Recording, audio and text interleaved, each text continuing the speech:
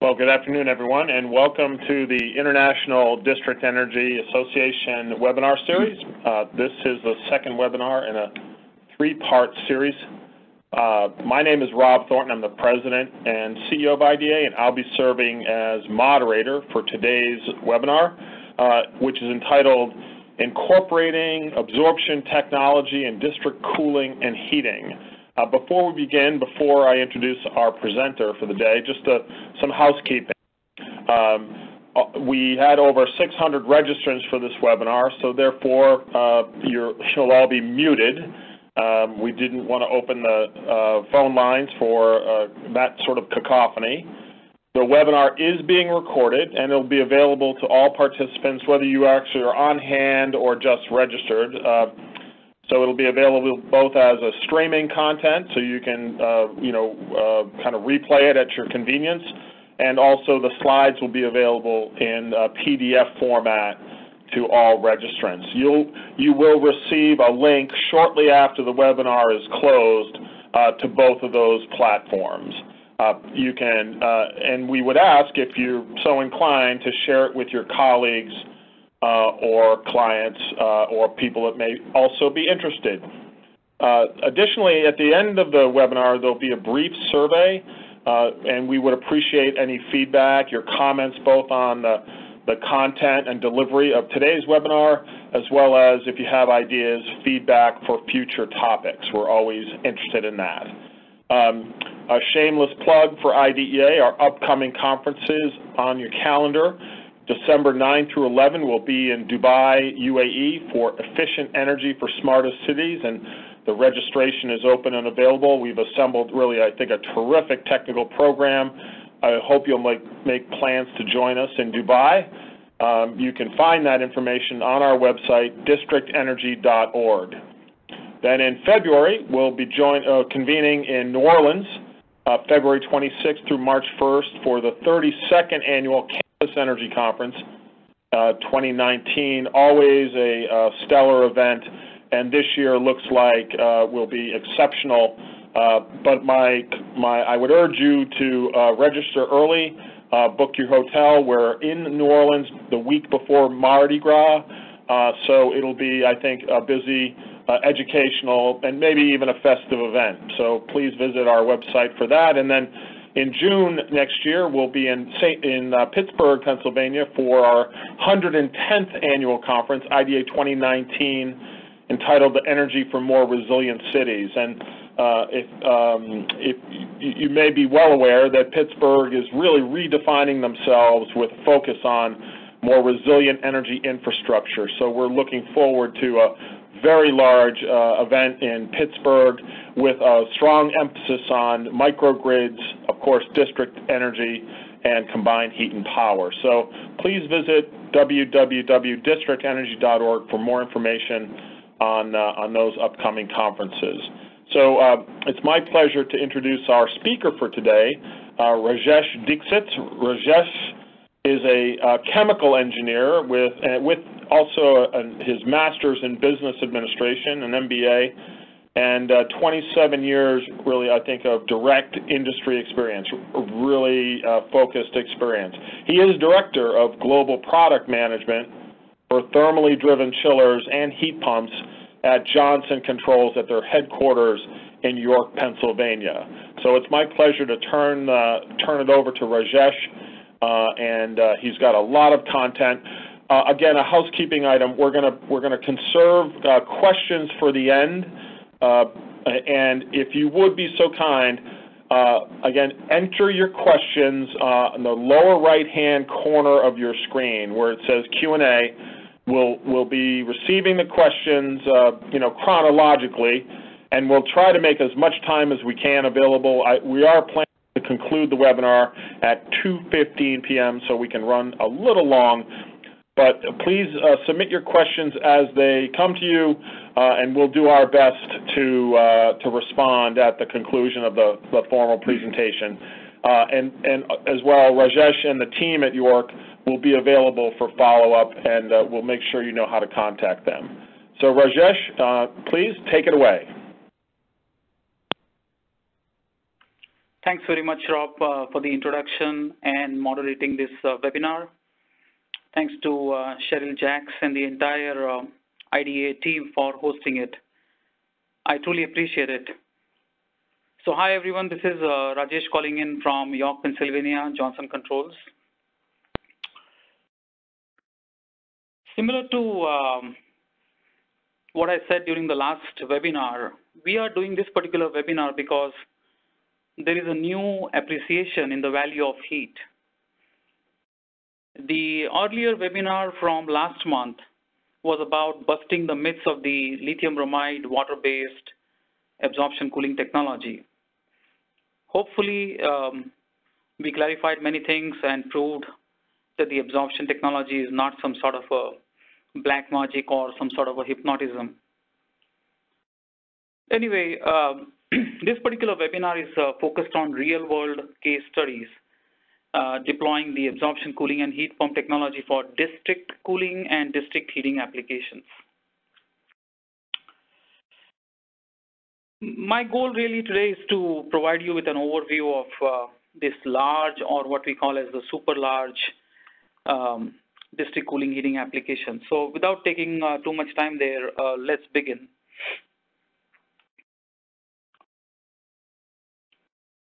This, uh, as I clarified before, this webinar is not about uh, basics of absorption chillers. However, let us quickly review uh, the four main components of the unit so that we can have a better appreciation of the slides that are going to follow. You are seeing the four uh, main components of an absorber, uh, absorption chiller, the evaporator, the absorber, the condenser, and the generator. The unit itself uh, operates under vacuum and water, yes, I mean, uh, uh, water indeed is the refrigerant. Lithium bromide is the absorbent, and uh, lithium bromide is nothing but, frankly, a simple salt, similar in properties to our uh, common, common table salt.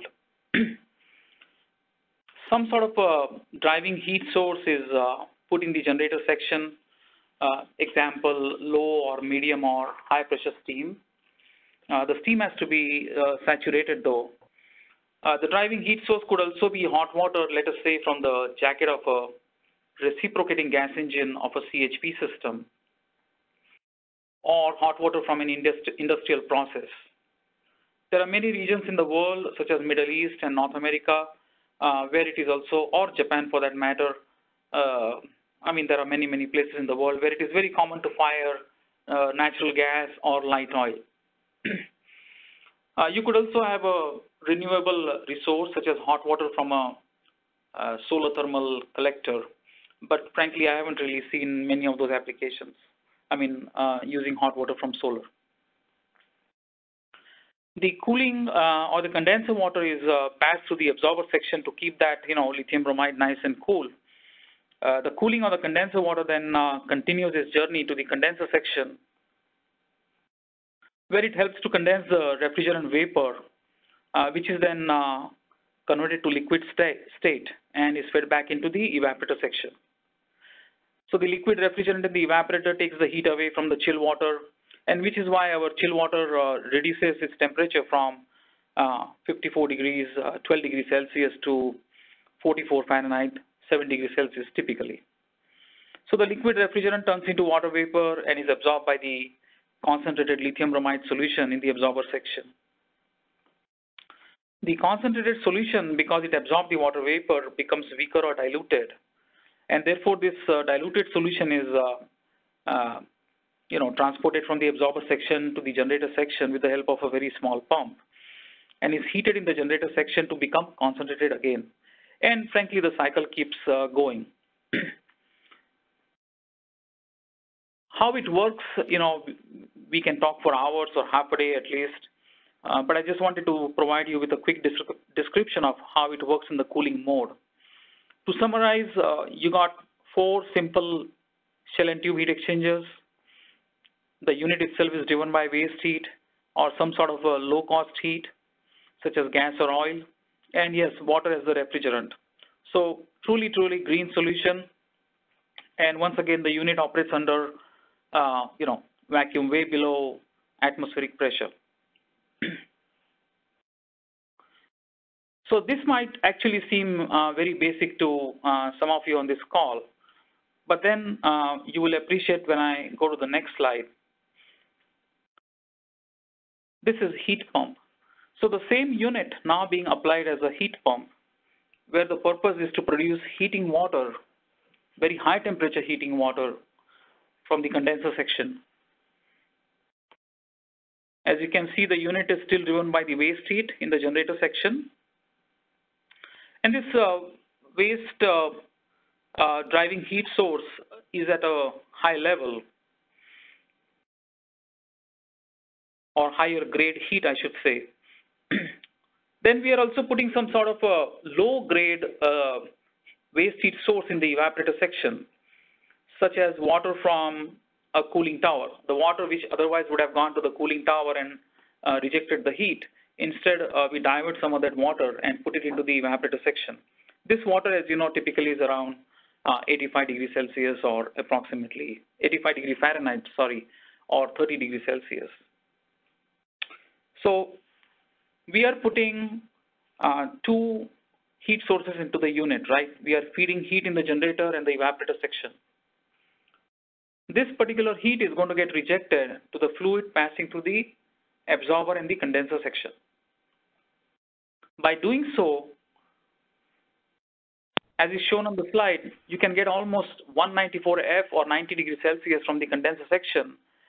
And this heating water or hot water can be used for a variety of applications, such as district heating or process heating, which we will see very soon.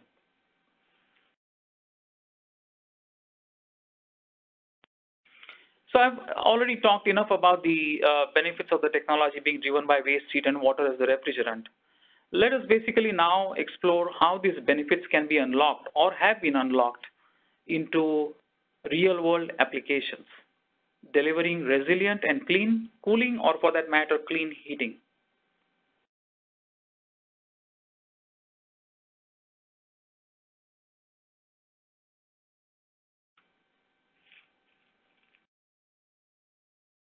So let's take in the beauty of this technology, I would, as I would say. I just want to clarify something that, uh, you know, I won't be able to provide uh, actual customer names or uh, job site details in this particular webinar uh, because we got to respect the uh, privacy of our customers and also, you know, respect their confidential information. What I can assure you is that each and every case study that I'm go going to present is a real one. Okay, it's a real life operating installation. So let's start with this first one. It's a 22,500 tons of cooling. It has been in operation since almost year 2000. There are seven chillers, as you can see. Um, all seven of them are absorption chillers steam driven. The plant provides chill water and steam to an area surrounding almost uh, uh, 3 million square feet, or let's say uh, about 275,000 square meters of space. I realize that you know there are some folks who are more comfortable with square meters. 3 million square feet or 275,000 square meters. The electricity is generated by a gas turbine that provides electricity for chillers and the pumps, etc., in the plant. And the surplus and the surplus electricity is sold through the power grid. The exhaust gases from the gas turbine are fed into a waste heat recovery boiler to produce steam at about 8 bar or 115 pounds. There are gas-fired boilers uh, too. So the steam uh, from all of these boilers uh, drive the seven absorption chillers I mentioned before.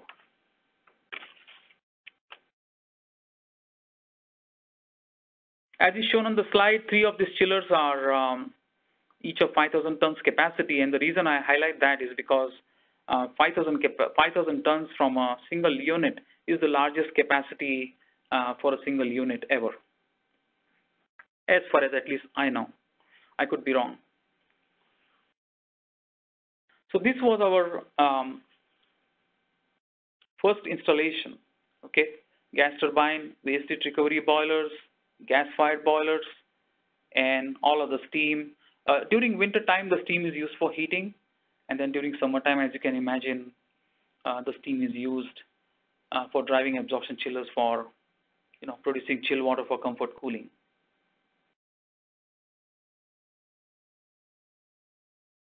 Okay, I'm purposely taking a pause so that you have some time to look at the slides.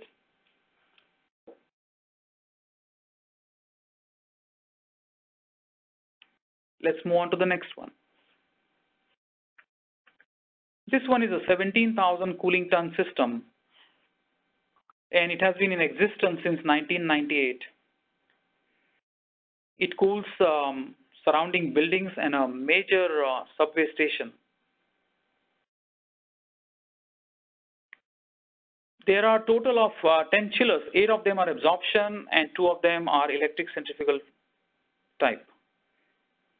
The absorbers uh, are driven by 8 bar steam pressure, 115 pounds from the gas-fired boilers. Okay, so there is no gas turbine or a waste heat recovery boiler. It's a simple um, gas-fired boiler producing steam for heating during winter time and steam for cooling during the summertime and it's a hybrid system. The absorption and the centrifugal chillers are working in parallel. So depending upon the time of the day, uh, the right type and the right number of chillers are operated to keep the operational cost to the uh, optimum level.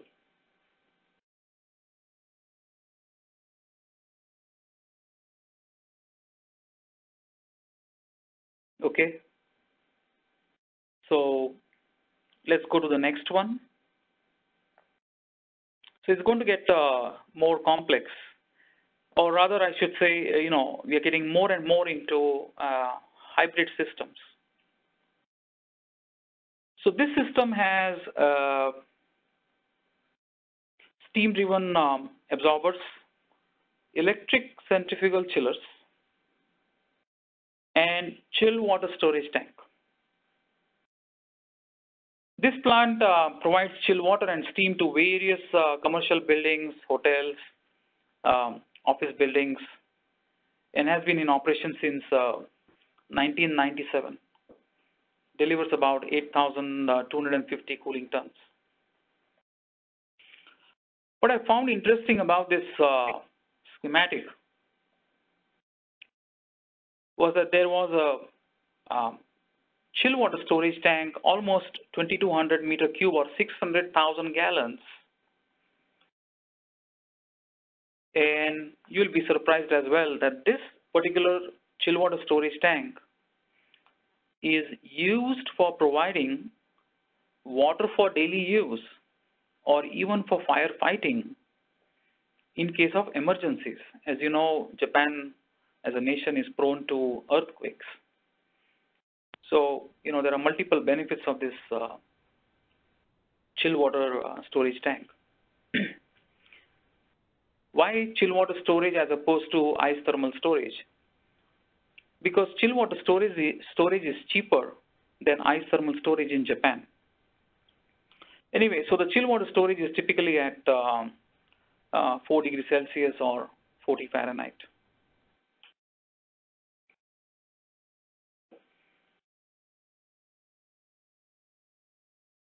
So it's getting bigger and bigger, more and more complex.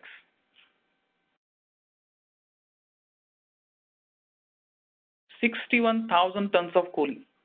Sixty-one thousand. Lots of steam turbine chillers, steam turbine centrifugal chillers that are driven by steam that is almost at 565 pounds. This is a very, very famous installation in a very high-end suburb of Tokyo in Japan. Once again, I could be wrong, but as far as you know, I know this is probably the world's largest district cooling plant for thermally driven chillers. It has been in operation since 1991. And as you can see, uh, that the system has a gas turbine uh, or gas turbines uh, producing on-site electrical power and the waste exhaust gases from these turbines are recovered to produce high pressure steam. In addition, we also have gas-fired boilers.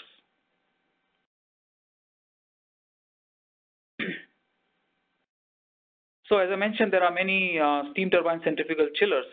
You will also notice something interesting, that there is an absorption chiller that is downstream of the steam turbine chiller.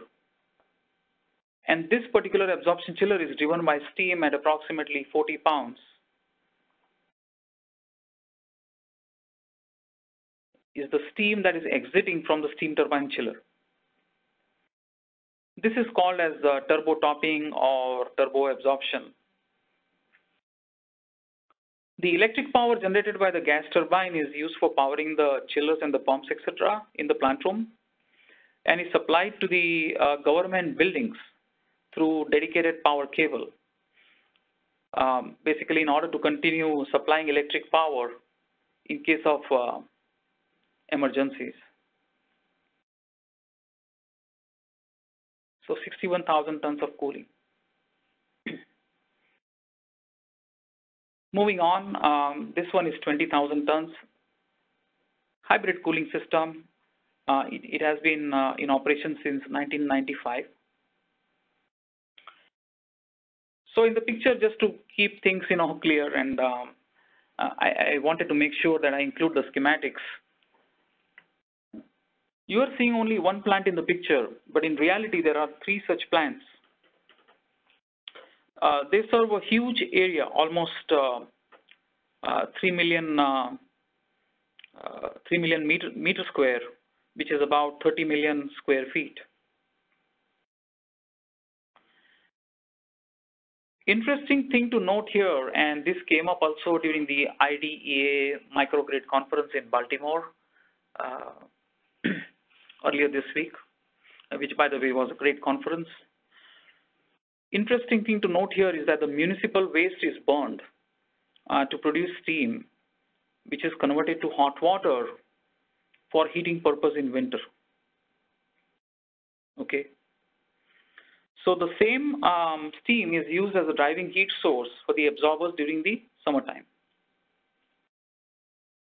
Main goal is to save uh, primary energy, which is basically natural gas consumption, and cut down on CO2 emissions. On the previous slide, we talked about the chill water storage tank, right? In this particular case, um, it is the ice thermal storage system.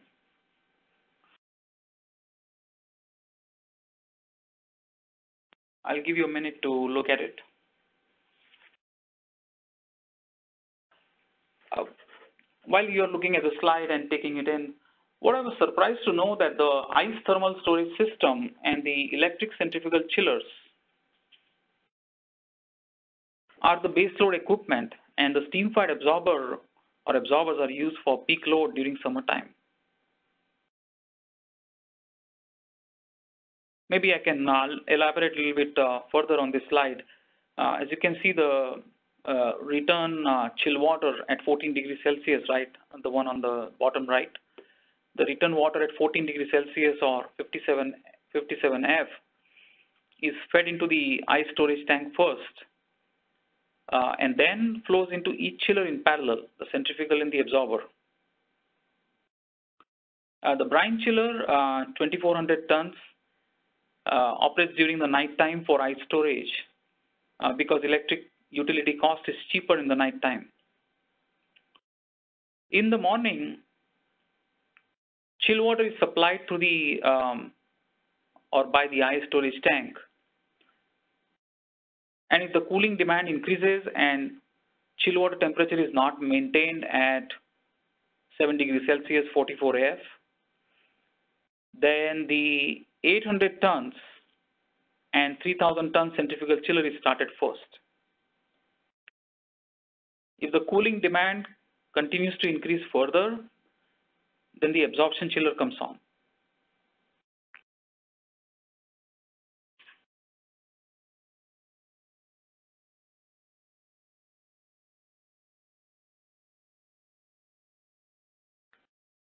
Next one, um, It's not so big, it's a 6,600 tons. But the interesting thing is this particular um, plant also has a mix of natural gas and electricity. Uh, it supplies uh, chill water, hot water, and steam to about um, 70,000 uh, square meter space or 750,000 square feet. And it's been operational since uh, six years. What I find interesting here is that uh, unlike the previous slides where most of the slides had, you know, the uh, steam-driven uh, chillers, right? So in this case, uh, the absorption chiller is a natural gas direct fired type. There are other uh, few special things about this particular uh, installation.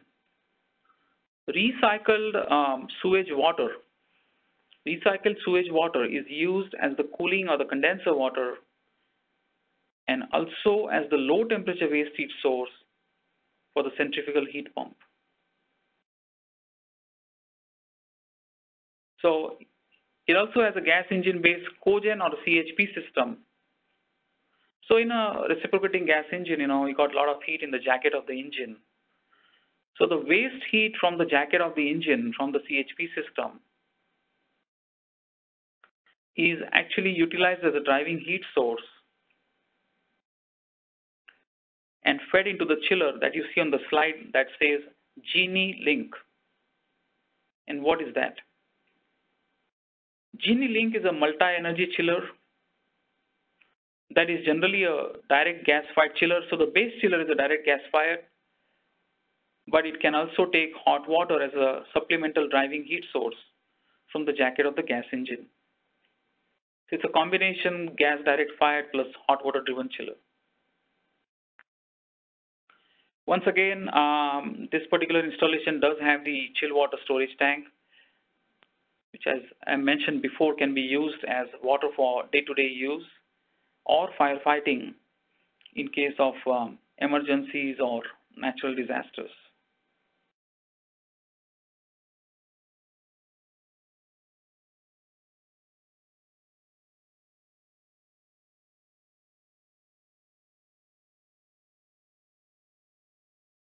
This particular slide seems like a very simple slide, uh, single effect hot water driven absorption chiller, but it is very, very popular these days.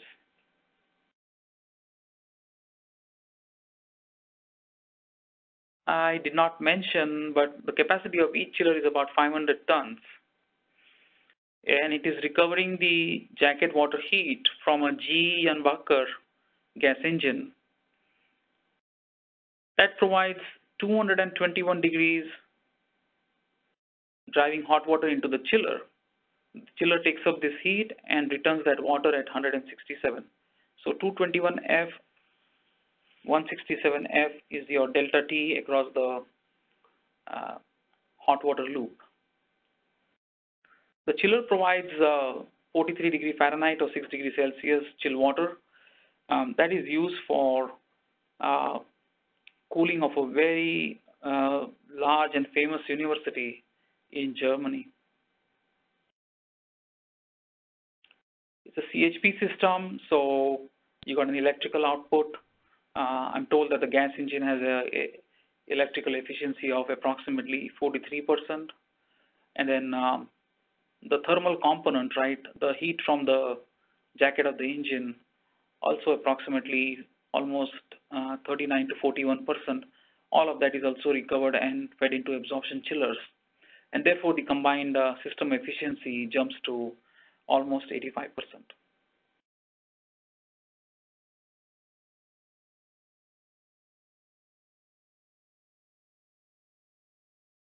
So it's a very, very simple system, extremely reliable. The chiller used is a very simple one, is a single stage hot water chiller.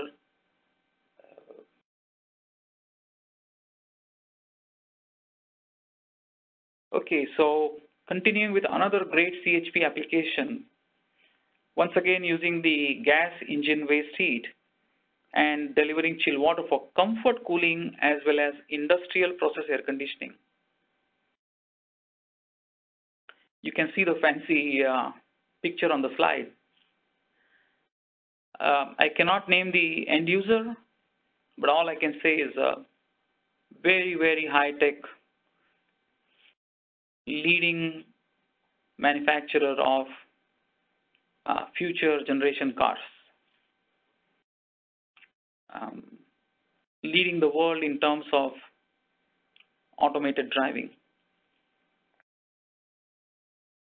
The chill water uh, being produced by the absorber is at uh, 8 degrees Celsius, 46 and a half Fahrenheit. And, uh, you know, the jacket water temperature profile is a little bit different than the previous slide. In this case is 230F, 158, 158F. Notice the 158, right? Few years ago, absorption chillers couldn't be designed or made to work with such a large delta T on the hot water and with particularly low leaving temperatures as low as 158. But now that barrier has been overcome and the chiller could be driven with such a large delta T. So frankly, you know, I mean, uh, when you look at such applications, I mean, you have no choice but to really fall in love with the uh, absorption, uh, absorption technology. So, so far we have discovered and explored and uh, reviewed cooling applications, district cooling applications. Now we're going to switch to heating, okay?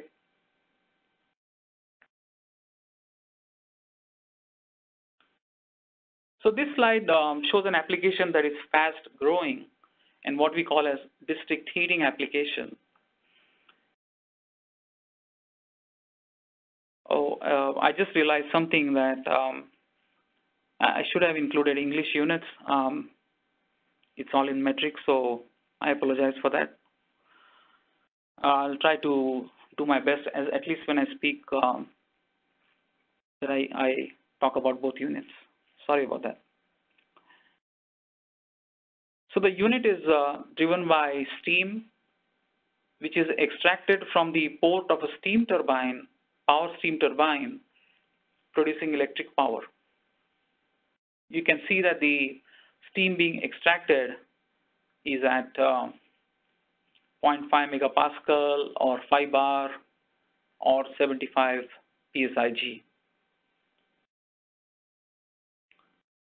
On the bottom right, you can see that the water from the cooling tower is diverted and fed into the evaporator section. This water is entering at uh, 45 Celsius, which is about 115 Fahrenheit, and leaves from the evaporator at 40 Celsius, uh, which is about 105 Fahrenheit.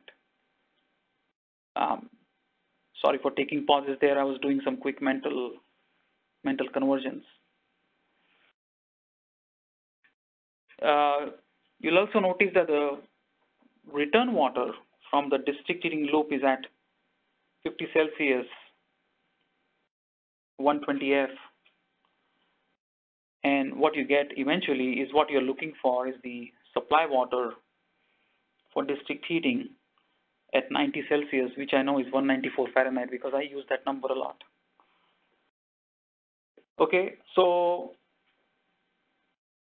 the unit is driven by steam, which is extracted from the steam turbine, which is my high-grade driving heat source.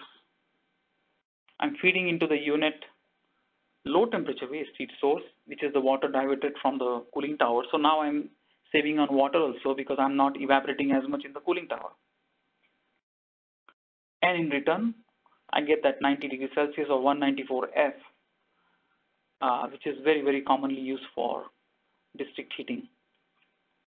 So what this does is, um, eventually what it does is, uh, it allows you to serve a larger heating area and allows you to use uh, less primary energy.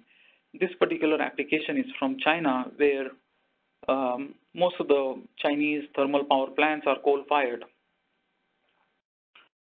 So it serves the goal, it meets the goal of burning less coal in the boiler. And burning less coal in the boiler means less emissions and less particulate matter. And that is exactly uh, the goal of deploying the absorption heat pump? To improve the air quality by reducing the emissions. Emissions are reduced by burning less coal. Less coal is burned because of this unique absorption heat pump technology.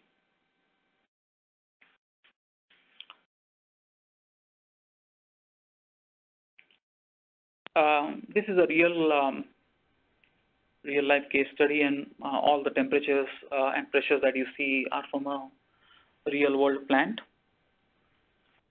It's a job in China. So thermal power plant, we got two units, each of 14 megawatt, delivering a total of 28 megawatts of heating capacity. Okay. The thermal power plant is coal-fired. As I mentioned before, the goal is to use less coal and therefore cut on emissions. Um, I'm not sure if you're familiar, but in China, you know, many a times, or almost most of the times, the thermal power plant company is also responsible, or rather mandated, for providing electricity, obviously, but also for heating water to various homes during the winter time.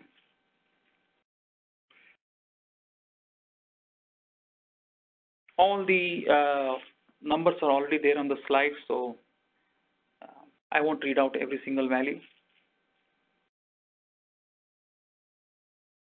The important thing is uh, that the driving heat source in the generator is approximately, well, it is uh, 8,197 kilowatts of heat, driving heat.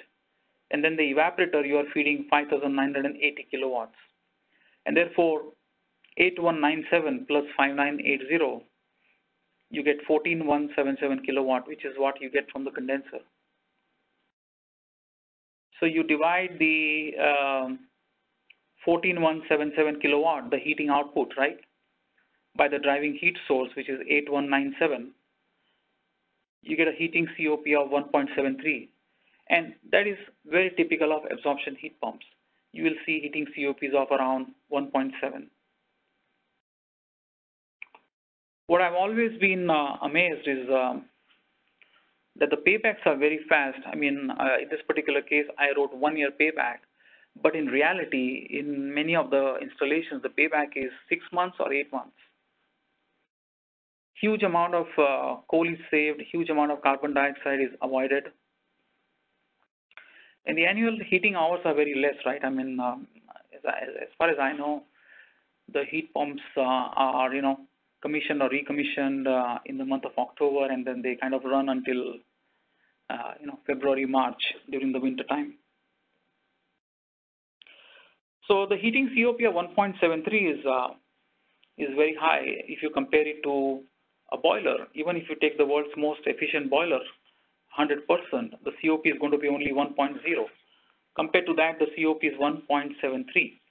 And this is the reason why the economic payback is so quick. Okay. Um, there's one more benefit. We are also saving huge amount of water. And you know the connection between water and energy is very, very close. How are we saving water? Because we are diverting water away from the cooling tower and feeding that into the evaporator section. Okay. So thermal power plant any thermal power plant has lots of cooling towers. So some of the water, I'm not saying all of the water, but some of the water is diverted away and fed into the evaporator. So, so there is less evaporation loss in the cooling tower. So overall, um, this is a, a, very fast emerging application. Um, seems very simple and straightforward. I would say, you know, equally very impressive uh, uh, as a real world application for district heating.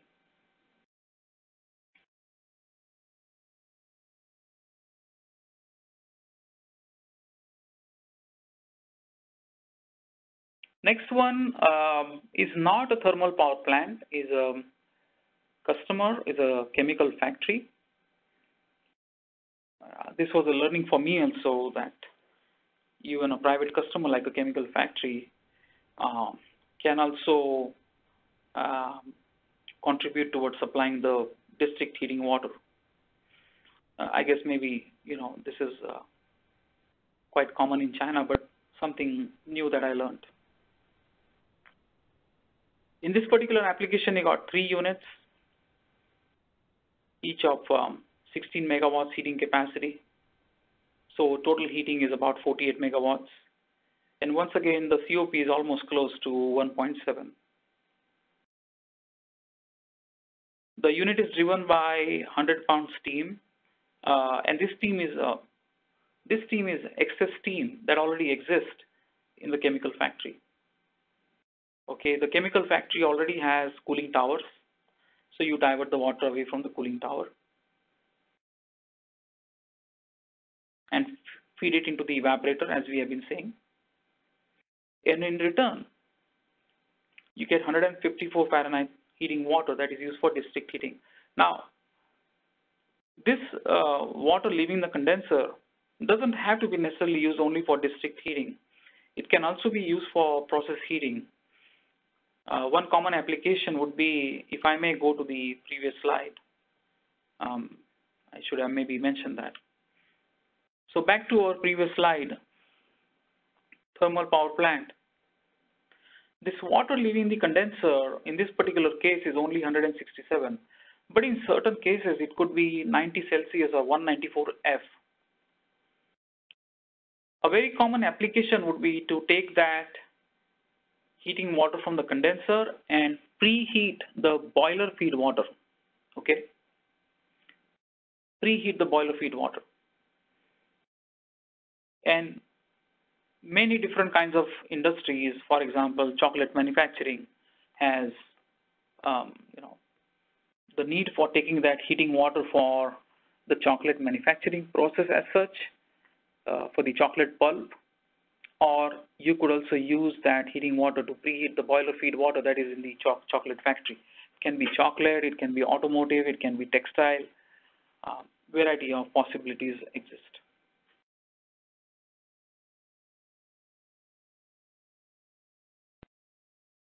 So once again, uh, the payback is uh, pretty quick, uh, about one year.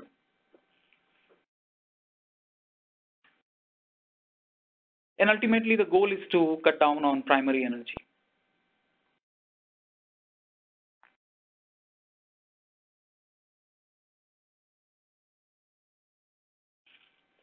This slide, uh, this slide I inserted at the last minute. I was not sure, but I thought, you know, I'll give a little bit of a different angle because after all, uh, well, this is a biomass-based system, so biomass qualifies as a renewable source of energy.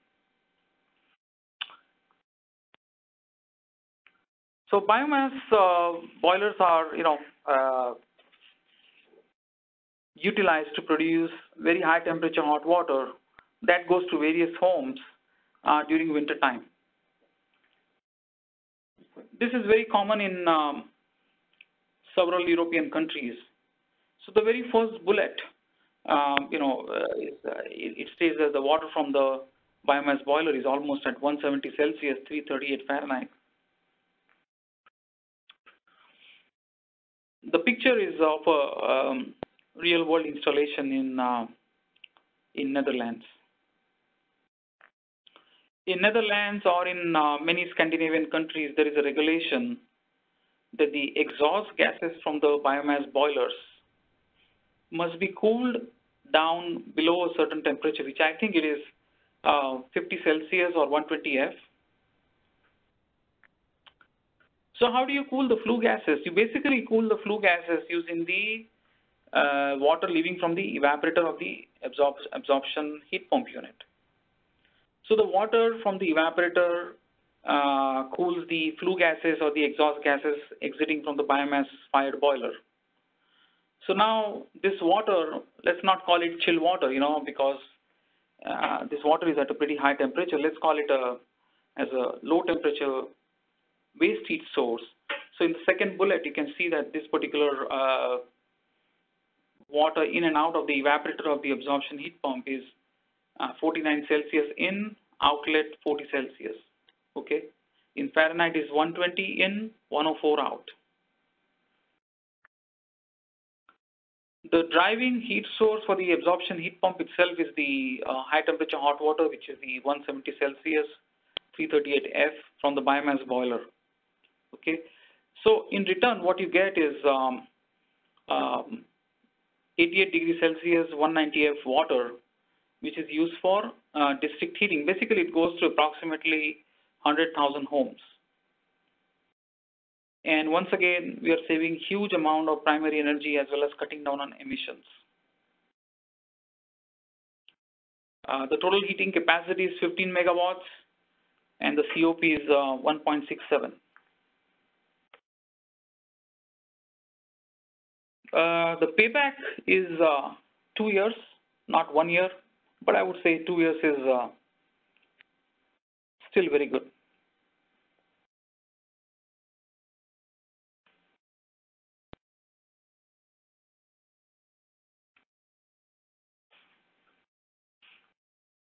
We are almost on to our uh, last slide.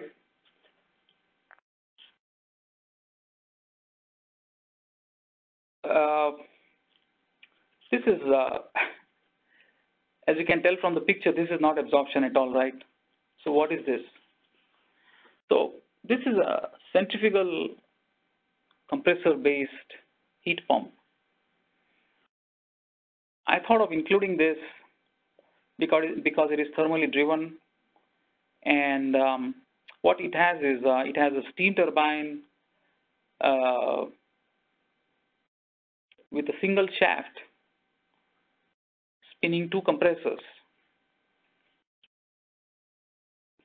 It uh, delivers almost 100 megawatts, 100 megawatts of heating capacity from one single unit, ideally suited for district heating to get 100 megawatts from one single unit is very impressive, something that absorption heat pump cannot do. Typically, absorption heat pumps go up to 30, 40 megawatts from one unit. 100 megawatts from one unit is impossible.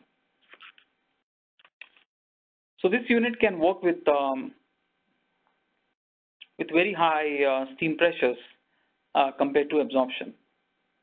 However, it does have some limitations in terms of how high the temperature you can get from the uh, eventual temperature that you can get from the condenser section. I just wanted to at least mention about this technology that it is out there. And uh, today is not the focus of this technology. We can talk about it separately some other time. Um, I would say that, you know, there are advantages and disadvantages of absorption versus this technology, as is the case in any other technology. So anyway, the steam turbine driven centrifugal heat pump has its own niche and particularly it does very well when you want to have 100 megawatts from one unit because in many countries like China, for example, it is common to have a uh, application or an installation that requires, let's say, 300 megawatts of heating then maybe you are better off probably, you know, providing three of these bigger units, 100 megawatt each. But that is not to say that absorption heat pump is also ideally suited to 300 megawatt application, except that the number of units will be uh, more, but at the same time absorption can deliver higher temperature from the condenser than this steam turbine driven centrifugal heat pump. Okay. So we are on to our uh, last slide uh, before we get into Q&A. So once again, um, I will not repeat myself. I think we have talked a lot about the benefits. I would say that, you know, don't waste those uh, BTUs. Don't waste the waste heat. So we should uh, we should love each and every BTU or kilowatt for those not in North America. We should be very, very, very possessive about every single BTU. You know, repurpose the energy as much as you can. Because this uh, one-hour webinar, uh, frankly, I can take you uh, much deeper into this technology, uh, but we have limited time today. Point is that uh, there are endless possibilities with this, uh, I mean, thrilling, ascending technology. So what I would say there is that uh, let us not allow for this uh, technology to be overlooked anymore. Okay. Maybe one more thing, um, I would also like to thank uh, Uchida-san from our joint venture company, uh, Johnson Controls Hitachi, uh, located in Japan. He was of great help I would say I was a pain asking him too many questions uh, on various schematics and why chill water storage tank, why not ice thermal storage, etc. So he spent a lot of time with me. So that's it, folks. Basically, you know, um, once again, uh, thank you so much for attending this webinar, sponsored by the IDEA and moderated by its president, Mr. Rob Thornton. Once again, thanks to uh, Cheryl Jacks and the entire IDEA team. At this time, uh, I would like to hand it over to Rob for moderating um, questions and answers. And thanks again. Thanks very much. Great job, Rajesh. Thank you very much. Um, so um, I'm going to roll back through the questions we had. The first one uh, was, I think, really related to a larger sort of um, uh, training. And uh, Mr. Shaw, IDEA will get back to you on, on really the question of training for the industry. First question, Rajesh, is how can we use the hot water produced for smaller installations, not just district cooling? Do you, do you see kind of a, a sweet spot or a break point below which, um, you know, maybe this technology doesn't make economic sense? Yeah, that's a great question. Um, I would say that uh, while we talked about uh, large applications, um, 10, 20, 30, 40 megawatts, I would say that uh, generally uh, one megawatt and above would would would be more uh, economical and would make more sense. Uh, I would say definitely stay above uh, 750,000 kilowatts. Yes. Yes. So one megawatt. Well, and, and I and I guess I would add too that uh, you know uh, to the questioner. I mean, this uh, webinar was really about the uh, uh, application of absorptions in district heating and cooling. We're the International District Energy Association, so you know that is kind of the framework that we're working in, not necessarily sort of single building applications. But um, uh, so you may want to circle back with Rajesh more directly um, for maybe a smaller applications. Next question, uh, Rajesh, was um, why charge alcohol in absorption chiller with lithium bromide? I think there's a question about sort of the working fluids. Is, um, and uh, I don't know that I understand the context of this, but it, it had to do with, uh, you know, I guess the working fluids in, in absorber. Why charge alcohol? My, that's my favorite question, by the way. um, so we got water and uh, refrigerant water and lithium bromide. The alcohol that is being charged is uh, alcohol called octyl alcohol. And um, the most significant part of the chiller is the absorber section, where the lithium bromide is sprayed on top of the absorber tubes. And inside of the tubes, you have cooling of the condenser water flowing from the cooling tower. So there is that film of uh, lithium bromide that surrounds the absorber tube. Mm-hmm. Now the now the inner uh, inner film is in contact with the wall of the tube, so it is cooler than the outside of that film. But you want uniform temperature of that lithium bromide film on top of the absorber tube. Yes. So by adding alcohol, what happens is that there is a turbulence created in that film on top of that absorber tube. So that film has a back and forth movement. You can't see it, but it is there. And therefore, nice. then, uh, uh, because of the turbulence, it is, uh, you know, making a good job of absorption. Uh, one word so it's really to enhance the heat transfer then, right? Yeah, increase the wettability of the lithium bromide, yeah. I see. Oh, One, one quick clarification. Uh, adding octyl alcohol does increase the capacity of the unit by approximately 10%. Uh, but if you add too much, then instead of increasing the capacity, it will go down because the alcohol will start to interfere with the boiling of the refrigerant. I have the So- same conditions. There's a certain uh, number of alcohol I can consume, and then after that, my performance goes way off. Absolutely. So up That to was a bad, bad aside. I'm sorry. Uh, uh, shouldn't that, shouldn't try for levity uh, in a in a webinar. Um, next question, uh, and and I, this is one I often have, Rajesh. So absorbers. He saw this. Uh, question I saw in your um, in your slides that uh, the supply temperature is, is often 44 degrees F. Um, is there an issue with uh, using absorbers in uh, parallel uh, or, or in series with electric chillers because your really desired send out is 42 F? How, how, would you sort of, how would you kind of recommend applications here? Okay, so a few things uh, in that question. So one thing is uh, 44 is just uh, representative, but 42 is also very common and doable, no no problem, or even Okay. 40 degrees, even 40 degrees. Now, um, you know, this is a non-commercial webinar, so all, all I can say there is that uh, uh, there are a couple of manufacturers uh, that can now go down to even 32F or 23F. I Um, see. So all- all those barriers have been overcome. Now, it is very common for an absorber to be piped in parallel to an electric centrifugal, but there are also some applications where I've seen that the absorption chiller is piped upstream uh, or downstream of the centrifugal chiller. It depends on the application, but when, whenever you have a series system, Yes. one thing to remember is that you have a very large flow, so the pressure drop is very high. Yes.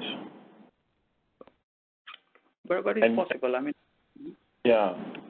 Um, so that's interesting, because it, it does. I guess it seems then that you, uh, you know, the mythology that absorbers can only deliver at a at a certain temperature, sort of, you know, kind of the higher band of desired temperature. Um, you say the technology has uh, has really moved beyond that now, so you can get lower temperatures, particularly in district cooling. In I think, uh, uh, you know, humid climates where you know, lower temperature is, is pretty important if, certainly if you're supplying like a larger thermal grid too. Um, right. So 4 degrees Celsius, 40 Fahrenheit is no problem. Okay, well, that's, that's encouraging. Um, next question is, and I think this related, uh, back to the, uh, uh, heat pump application, uh, and, and heat delivery. So what is the maximum outlet temperature one can get out of, uh, the, sort of heat pump, uh, uh, application? Uh, so high temperature send out. Right. High temperature send out, yeah. And uh, the, the, the answer is 95 degrees Celsius, which is uh, Is that like 200 degrees F? 203. Yeah, 203 F. 203 F, But- yeah. But 95 degrees Celsius, 203 F um, is, you know, dependent upon few things. What is the leaving evaporator temperature that is desired, and what is the entering absorber temperature? So leaving evaporator and entering absorber decides how much you can get from the leaving condenser. I see, okay. I see. That makes sense. Uh, but uh, in a in a district heating application, you know, 200F is quite a, quite adequate for uh, kind of what are now sort of third generation. Um, you know, it's certainly short of, of steam, but um, but really would be more than adequate in a third or, or even fourth generation district heating application. Um, Right. Another question we had, and I, I think this is, is more related, I don't know if it's related to, uh, you know, kind of the equipment in the, in the, in the unit or relative to the district heating distribution network. So the question is, is steel the only material you can use for heat district cooling? Um, so to the questioner, if, if that's related to, uh, you know, the question is related to the distribution network, you know, the uh, heating supply in return. Steel is is not the only material you can use. You can, you know, HDPE, different um, uh, different, you know, methods of, of tubing, ductile iron. There are a wide range of applications on the on the distribution side, the, you know the thermal network side. But I, I get, uh, Rajesh, is is this a, maybe a question related to, you know, kind of the, components in the absorbers themselves? I, I'm not exactly sure. Um, I just want to clarify the question. So the question is, what is the right material of the uh, district Well, heating? what it says, the steel the only material you can use for heat district cooling. So I, I'm, I'm not, uh, so the questioner may want to circle back uh, directly. Um, so I, I don't know, it, it's a little hard for me to discern exactly what the uh, nature of the question is. So we'll, maybe we'll come back to that privately. Uh, Okay. Next question was, uh, what's the expected downtime for a megawatt scale uh, absorption uh, mode? So the re- reconfiguration to and from like chiller and heat pump. Um, you know, is there uh, some concern about uh, continuity, business interruption? Is that anything that uh, an operator should should uh, kind of consider? Seasonal downtime or unscheduled downtime? Mm. So first of all, it has to be clarified uh, upfront at the design stage that the unit is, uh, you know, the manufacturer needs to know that the unit will be designed to operate like a chiller during summertime and heat pump during Yeah. the winter time. Yeah. As far as the changeover is concerned, it shouldn't take more than a day. Not Okay. even a day, but I would say eight hours fine. Uh, to change out some walls, to change some settings, to check, and it's almost like a, a recommissioning kind of a thing. Uh, I whether see. in uh, Okay. whether in chiller mode or heat pump mode, uh, the unit is a you know very static piece of equipment. There is not much to do there other than um, Right. I, I've been a service guy for a long time, so I know that I we need to do only simple things, but those simple things can also go wrong sometimes. So maintenance of the Right. vacuum, maintenance of the corrosion inhibitor, and maintenance of the water quality. These three things are very very important. Yeah. Um, these seemingly, you know, simple things also sometimes are ignored, and then you start to have um, issues. So I would Yeah. say maintain that vacuum, maintain the corrosion inhibitor, and maintain the water quality, and there is really then not much to do. And is it, would it be recommended then that, let's, let's say you're in the shoulder months, right, a seasonal sort of, you know, turnover.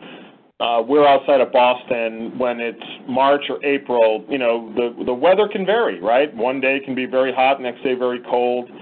Is it, do you see like typical where, uh, these larger units, they'll, they'll actually have like a seasonal switchover? They won't, they won't go back and forth, right, one day to the next, or, or, or do they? Uh, no, they don't. Yeah, yeah, it's really like a seasonal, you know, a defined date. As of April 15, we're going to cooling mode. Uh, before that, the unit is for heating. Yeah. And Now there is a there is a variant of the unit. Um, it is called as the uh, there is a there is a unit uh, that is simultaneous chill water or hot water or chiller heater unit where uh, uh, with not I would not say that uh, it is very common in New York City or maybe in Boston. So you operate the unit as a chiller or you operate the unit as a heater or a chiller heater. But when you switch from one mode to the other, you still need an hour, two hours to uh, manually change over some valves. yes, Yeah, it's not an instant just press one button type. Yes, it's, it, it's not like uh, an outboard motor, right? You just sort of flip a switch and you can go in reverse, right? So, um, yeah, well, that makes sense. Next question, what's the minimum working steam pressure on the steam turbine centrifugal chiller? What, what would you say the minimum uh, working pressure would be on a steam turbine drive? Okay, by that I think I I am assuming that the uh, question is that what is the minimum supply steam pressure to make a steam turbine chiller work? Yes, that would be that my guess too. Right, right. So in that case, it would be, the answer would be around 30 PSIG. Okay. So you need a, a 30 PSIG. Uh, is that, that's the minimum supply pressure or the differential pressure? Uh, no, that is the supply pressure. Now, Okay, we are talking about steam turbine that is part of the chiller package, mounted on the chiller package, but if the steam turbine, I haven't really seen a steam turbine chiller application below 30 pound steam pressure, but I guess if it is lower than that, can be done as long as the steam, steam turbine itself can be floor mounted. What happens when the steam pressure goes low? Uh, basically, your uh, inlet uh, nozzle diameter for that steam inlet goes higher and higher and higher to a point where you cannot mount the steam turbine on the top of the unit. So it, as long as side side mounted, floor mounted is acceptable, can be done. Okay. But, but I would say I would say I would say 30 pounds is better. 30 pounds and And uh, so I worked for the Hartford Steam Company. We had 20, well, 18,000 tons of steam turbine drive chillers. You know, I think the sweet spot for them was like 125 psig, right? I mean that these were you know fairly big units from 5,000 down to 2,000 tons. Um, Absolutely. Right. Um, next question, and, and we're going to have to conclude in a in a few minutes, but uh, can, so can Rajesh speak about the energy efficiency and cost advantage of CHP plus absorb, absorption chillers, like a hybrid system compared to more of a conventional all-electric chiller gas boiler configuration? I mean, that that could probably you could probably use an hour to do that, but are there you know kind of some rules of thumb that you would suggest CHP plus absorber? Mm. I mean, it all depends on the spark spread. Uh, that is the first thing. What is the cost of electricity and demand charges versus cost of gas? Right. That's what I would suggest too. Really, it's the it's the demand charge and the differential, right? The ability to avoid the demand charge, right? So, like you mentioned, one configuration, Rajesh, where the steam uh, the steam absorbers are the primary supply, uh, and no, no, no, I have it backwards. The electric chillers are the primary supply, the notion being, once you start them during a demand month, you want to run them, right? You don't want to be starting and stopping during demand charge. Um, but so I, I don't mean to put words in your mouth, but it really is not just a function of the equipment, the hybrid layout. It's it's also in what kind of electric tariff are you operating? Yeah. So. Uh, and what's the price of your heat, right? Exactly. Uh, there are many different situations. In many cases, I've seen that um, is uh, it, it is common to use gas-fired boilers to drive steam because in those places either electricity is very expensive or electricity is unreliable or not available at all. A customer wants to expand uh, his production capacity in, let's say, a plastic factory, but he doesn't get the necessary amount of megawatts that he's looking for. So then only option is to fire natural gas to produce heat to drive the absorption. But uh, on the CHP front, what my personal experience has been that um, anytime you have low cost of electricity, like six to eight cents a kilowatt hour, uh, CHP yeah. becomes difficult to justify. But yes. anything about yeah, anything about nine, ten cents a kilowatt hour, and even if the demand charges are not that significant, CHP would uh, make a sense considering current cost of natural gas, assuming let's say, uh, you know, five dollars a million BTU. Right. Um, and one of the questions uh, we, we also had, Rajesh, is when the payback time is mentioned, are you talking about direct costs? Because you mentioned some in some of these applications, you know, paybacks of a year or less. Um, was that, uh, or did that include indirect costs, uh, like carbon price, uh, other externalities, uh, or was that really sort of, you know, direct cost avoiding primary energy use? No, uh, it, it, was direct cost. Direct costs. Okay. And I did not, yeah, I did not even include the water savings. Very good. Uh, one of the last questions I think we have, have you seen any application of absorption chillers in end user buildings for example, like an office building that's driven by hot water or steam uh, from a district loop. So in other words, the building um, is using is, is using piped in district heating uh, for the, and then using that to make cooling. Very, very common. Very common. Right. Uh, uh I've seen this uh, in Europe a lot. Uh, I was giving an example at the microgrid conference a few days ago in Frankfurt or let's say right you know, a major concert hall in uh, northeast of Germany. So the uh, local utility is um, selling the hot water. And so because they are in the business of selling hot water, they want to pipe as much less flow as possible through that pipeline and have a huge delta T. Um, Right. Oh, right. So mhm, it is very common to take the uh, municipal hot water and uh, drive an absorber. It's not Right. so much common here in the U.S., but I think uh, uh, it's, it's done uh, very successfully. Yeah, I, I think there's a, well, in Manhattan, from time to time, there have been hundreds of thousands of tons of steam turbine drive uh, chillers. And I know that absorbers are making a, a, a comeback too in Manhattan, where, and there's also both uh, uh, uh, capital support from NYSERDA, uh, you know, for heat-driven chilling application to, to kind of take load off the wires. Uh, and, uh, and there's really sort of, you know, a lot of excess summer steam too. So uh, in the past there have been some preferential rates uh, as well. So Manhattan has quite a bit, and uh, you know, and there are quite a bit of applications, uh, district heating providing uh, in-building cooling. Um, one, last question, I think, how many pounds of 150 pound steam per ton of chilling for the 1250 ton unit? Are they using about eight pounds per ton or so? Yeah, approximately eight to eight and a half. Right. Uh, I just want to go back to your earlier point about uh, NYSERDA. So in New York Yes. City, uh, uh, last calendar year, I believe the rebate was almost $500 a ton, but this year they changed it and made it more attractive. Uh, I believe the rebate is now $1,600 for every kilowatt avoided from the grid. Wow. Yeah. So Wow, obviously the uh, motivation of uh-huh. obviously the that'll motivation of the for a lot of company is to keep you away. Mhm. Yeah, very good.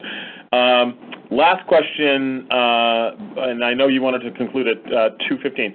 Can you comment on the reliability maintenance requires of absorption chillers? Have you, uh, you know, the, the the commenter is talking about, I think, what is, you know, kind of a, a historical, like he calls it a bad rep. Have, the units improved? Or are they, you know, uh, more durable, reliable? Yeah, so as much as there are great stories about absorbers in North America, there are also not so great stories about absorbers in North America. Outside of North America, the world is totally different. Uh, I'm Right. just being blunt here. I mean, we never come across this question in Europe or other parts of the world. Uh, but Right. in North America, the, the, the person who asked this question is absolutely right. Um, you know, you got, um, uh, I mean, this technology is different. It operates in the vacuum, and it is more, uh, you know, a thorough understanding of the chemistry and how it works is important. What has happened over the years, uh, you know, the the most common problem faced by people in the U.S. market was crystallization on a two-stage chiller. Yeah, I see. So some manufacturers um, have uh, uh, taken the technology to a new level where I would say that, let's say, I can speak on behalf of my design because I don't know the other people's design from inside. I would say that our philosophy is that operate or design the chiller with the lowest possible lithium bromide salt concentration. So design the unit with less salt and more water. When you got less salt, more water, that means that solution is easier to boil.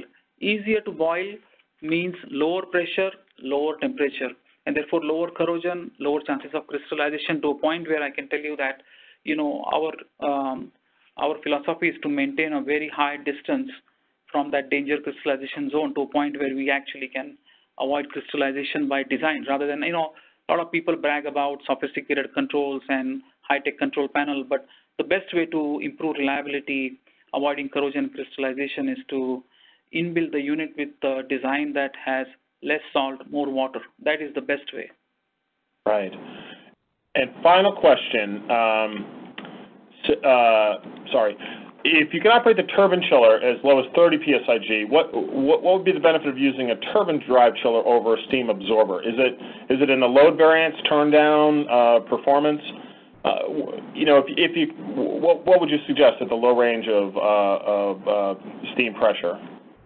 I, I would say that uh, if you got only 30 pounds, uh, just keep it simple and go with a single stage steam absorption chiller. But, right. but there are applications where, uh, let's say, the customer may want some flexibility in terms of a parallel electric drive. So the unit operates like a steam turbine chiller, but during shoulder months, you may want to operate it as an electric chiller. That is one Uh-huh. way.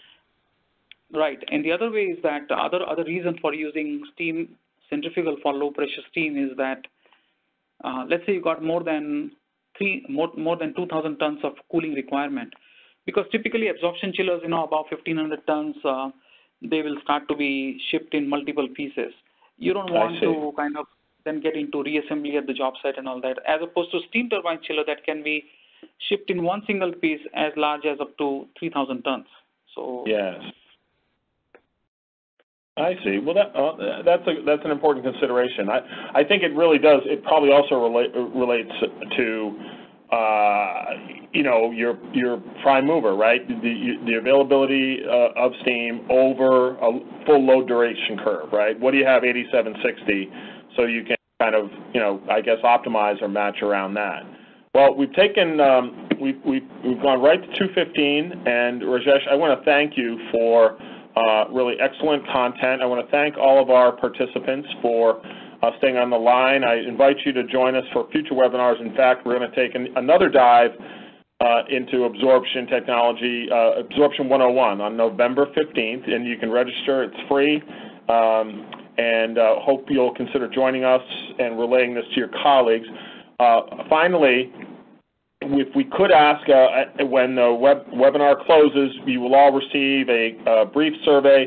Should only take you a minute. We'd appreciate your feedback so that we stay uh, headed in the right direction and are providing the content that you're looking for. And finally, Rajesh, uh, thank you very much. I, you know, I, you, you really, uh, you taught me a lot. Um, uh, I, I know who I'm going to go to when I have a, a question on absorbers and and using heat. And uh, uh, thank you very much for making this a very meaningful and educational segment. So thanks. Thank you, Rob. Any thank last, you, uh, last comments from you, Rajesh? Yeah, thank you, Rob. Thank you, IDEA. And more importantly, thank you uh, for everyone uh, on the phone for joining us today. Thank you so much. And, and if you have further questions, please don't hesitate to reach out to uh, uh these, uh, these locations, B-Chiller Solutions Marketing at JCI, and then the website is uh, york.com, absorption chillers, uh, for additional information. And uh, look for your email. You'll be receiving the link to the streaming content as well as access to the slides that have been presented today. Uh, thank you all, and uh, I hope to see you either in Dubai or New Orleans uh, at, at a future IDEA conference. Have a good afternoon, everyone. Bye.